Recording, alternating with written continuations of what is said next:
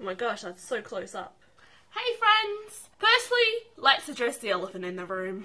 My camera quality.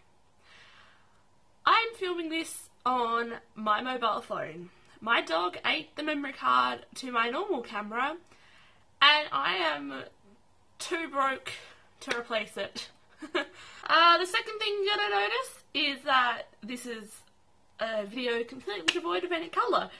I have mostly moved out of my house by now. All of my stuff is in one room. I've just got my bed, which I'm sitting on. Uh, I don't even have my tripod. I don't have a, a, tripod that fits my phone anyway. So right now my phone is balanced precar- pre- pre- precariously in uh, a slat window, hoping to God it doesn't fall to its death. Um, but I already missed one video this month because I was super unwell and just couldn't do it, and I didn't want to miss another one. So, in exchange for getting my face on your screen, you get it in really terrible quality. Uh, apparently, my phone's actually filming in 4K right now, but like in the scheme of high definition to standard definition, this is crap definition.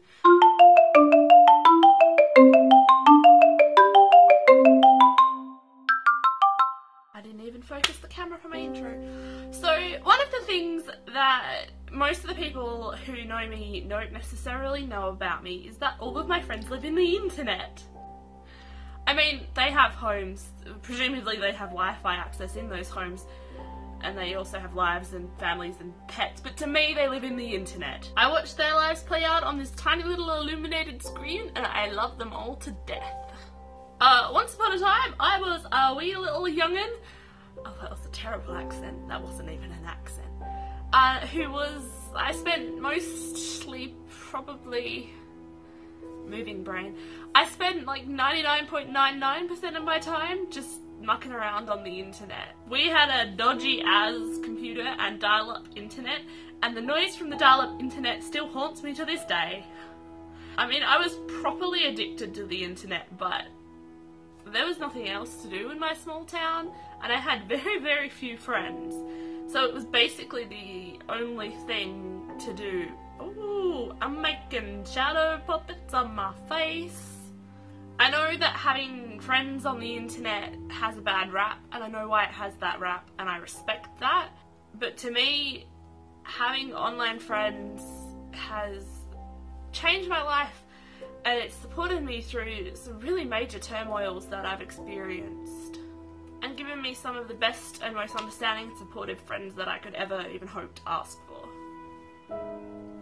Um, I guess to understand this a bit better, you've got to know that my love of online community started when I was 11, right after my dad died. Uh, to put it in a short way, I started watching the TV show Supernatural, and from there I found an online message board it was like an Invision Free pro board. Okay, nobody's gonna know what you're talking about. I'm just gonna I'm gonna keep going with the video. This point in my life, everyone I knew knew about my father dying. But I didn't know anyone who also had been through that experience. And since it was such a big part of who I was, I sort of felt this wall between me and other people where I couldn't really connect with people because I didn't have that in common with them and I just felt like there was no way that I could make new friends or really identify with anyone. I mean, also in addition to that, there was no way of making new friends because I lived in the tiniest little town in all of Australia. Well, probably not, but it felt that way. But even just like for a few hours a day after school, coming home and talking to the people on the internet, it really helped me break down that wall because they didn't necessarily have to know my past, but we also all got together over this really big shared love of something which I didn't have in common with anyone else I knew. I also really found it pretty. What am I doing with my neck? What? I also really hadn't at that point experienced what it was like to have like a group of friends where nobody bullied me because of like my appearance or whatever it is that kids pick on you for. And it was awesome to be able to sit down, wearing whatever I want, looking however I wanted, and talk to people whenever I wanted in a really supportive environment where all they really did was back you up and build you up without people picking on me. I mean, it was just like an overwhelmingly positive experience in my life, and I don't think I would have gotten through my dad's death like half as well as I did without these strangers on the internet.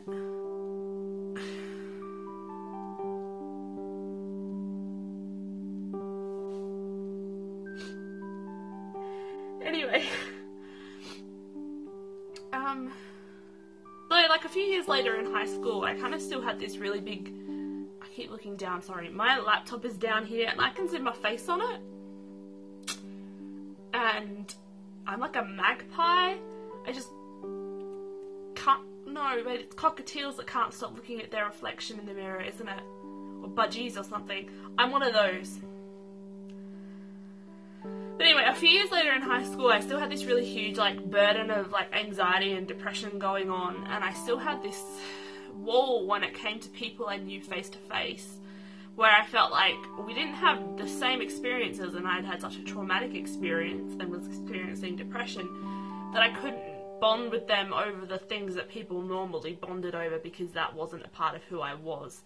All this other genuinely not very nice stuff was a big part of who I was at that point. Uh, about halfway through high school, I changed to a different school.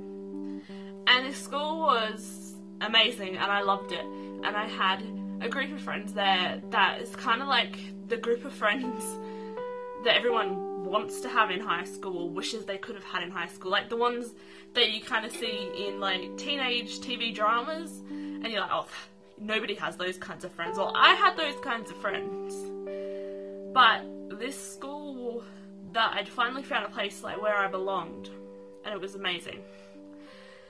And I still felt really kind of insecure, and I still felt like there was a boundary there between me and other people, but I was kind of starting to let it go. This school was about an hour and a half from my house, so I was travelling for three hours a day. And on top of that, travelling for three hours a day, starting school at 8am and finishing school at 5pm, I was expected to do about three hours of homework. And it basically just deteriorated my mental health until I couldn't cope anymore. And I was also starting to get my first signs of endometriosis. Well, I'd already started getting endometriosis, but my first really bad signs of endometriosis and interstitial cystitis. So I was, it was making me sick for a couple of years at that point, one of my favourite bands uh, had been My Chemical Romance. I was part of the MC Army. I still am, everyone, even though My Chemical Romance never died. Uh, the same year I dropped out of high school because of all those reasons. The band basically was releasing a new album and they dropped this big like media hype slash I don't even know. Whatever. it was just this big craziness before the album was announced. Where they were basically giving out these really cryptic clues, and all the fans were getting together on fan pages to solve the clues and try and figure out what the album was going to be about. And it was just this awesome, awesome um, way to basically spend the time that I had at home. But through that, I made all these really beautiful friends who just helped me get through this really tough spot where I was forced to leave somewhere where I belonged, which was my high school, um, and go on to something that I didn't necessarily want to do, which was leaving high school. and they also gave me a place where I felt like I belonged and could talk about whatever I wanted. That for real made me tear up a little bit. And because we were like bonding over our love of something, it became so much bigger than the problems that I was having in other parts of my life. So I could just, in our friendships, focus on like what we had bonded over. And it was just this awesome way of breaking down that wall again. I mean, to put it in perspective, it's been like six years now since that happened, and I still talk to the friends I made on there pretty much almost every day and we still build each other up and we comment on each other's selfies and we chat and we send each other things in the mail and we still have this really beautiful friendship. And I never would have had that without online communities. I would know when it came to chronic illness, it was pretty much the same story again. Another big turmoil in my life, another major changing point. At first, I came back to the online communities for answers like what was endometriosis, how do you treat it, what are the symptoms and what works and what doesn't work. But then it kind of transformed into making friends with people who had the same illness as me or similar illnesses and bonding over that and being able to answer and ask questions that were probably too much information for um, friends that didn't have the illness or weren't used to talking about it. But by then it was becoming obvious to me in like my real life that just like with my dad, The people I knew weren't or hadn't gone through what I was going through, and it put this big wall up that was only smashed down when I bonded with people who were going through what I was going through because again it became this huge part of my identity and it still is. And when something is a really big part of your identity and it's not a big part of anybody else's identity around you and it leaves not much room for anything else in your identity because it takes all of your hobbies and it takes all of your pastimes and it takes all of your interests away when you can't do them because you're sick, then it leaves you not a lot really to bond over with other people who don't have it.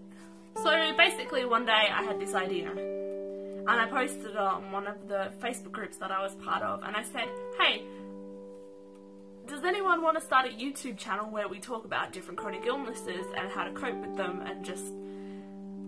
And it turns out there was another amazing person who'd had a really similar idea to me, and she saw my post. Thank goodness If you can't tell, I'm talking about Victoria. This beautiful person is one of my very best friends and a really huge part of my life. And again, it never would have happened had I not invested in online communities and online friends. I think we all know how important internet safety is.